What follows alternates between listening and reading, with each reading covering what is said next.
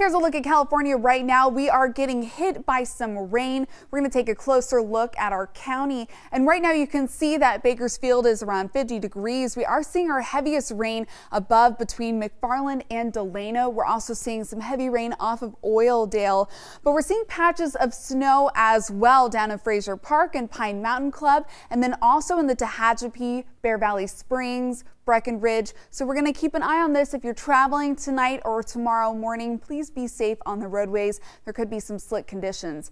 As to the wind, we're not going to see a lot of strong winds after tonight. We are going to see them early Sunday morning, and then they'll progressively get a little stronger throughout the afternoon. But we're tracking three storms right here. The first one is Saturday night tonight into Sunday morning. And then we have our second storm, which is a little weaker. It's going to be late Sunday into Monday morning. And then we're also tracking a third storm on Wednesday, trying to get more details on that. This is around 8 o'clock here in in California. The storm is continuously moving west, and by Sunday evening, we're going to see this second system that's just going to linger over Bakersfield for a little bit of time, dissipate, and then after Monday morning, we're seeing this next storm that's slowly starting to come in on Tuesday, and then it will reach us by Wednesday morning. But we're still tracking this third system and trying to see how much rain we're going to get. Well, tonight, overnight rain we're expecting from Bakersfield around one tenth of an inch.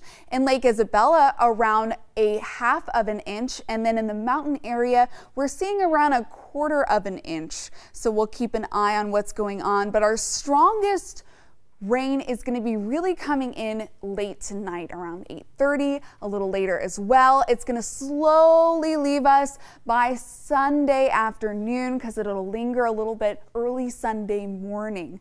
But also looking at our snow level, it's 4,500 feet. So that means Frazier Park, Walker Pass, Pine Mountain Club, Alta Sierra, and Breckenridge are expecting some overnight snow.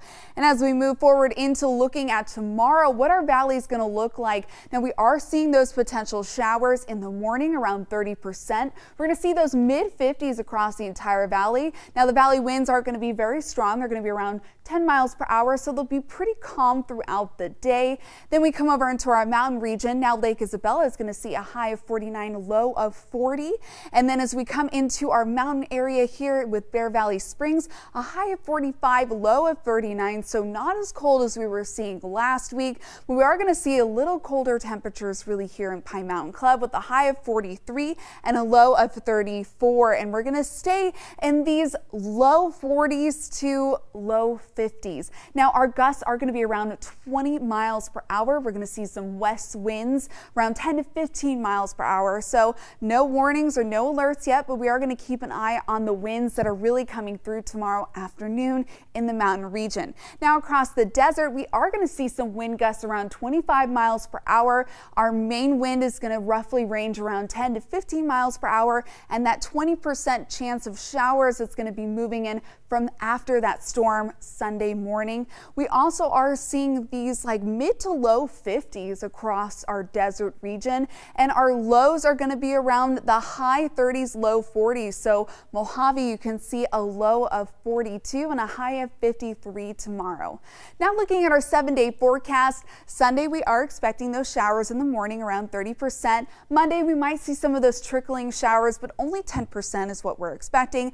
Then that second, the, excuse me, that third storm is really going to be moving in on Wednesday. We see right now 40% chance of rain. And then by Thursday, those showers as it's moving through our county, 20% chance. We are going to get cool tonight and tomorrow morning and throughout the day. We're going to warm up a little bit, drop down a little cooler on Wednesday compared to the 64 on Tuesday, and then we're going to warm up slowly through the weekend. And then looking across our county, we do see Kern River Valley, Tehachapi and Frazier Park are expecting those showers tomorrow morning as well. We should see the storm system move a little bit more through that Sunday afternoon, but then that second storm system is going to be bringing some overnight showers Sunday evening into Monday morning, looking around 20% in the Kern River Valley, and it shouldn't be as strong and very, very short as well from what we're looking according to the satellite. And then Wednesday again, that rain 40% chance across the county with some sprinkled showers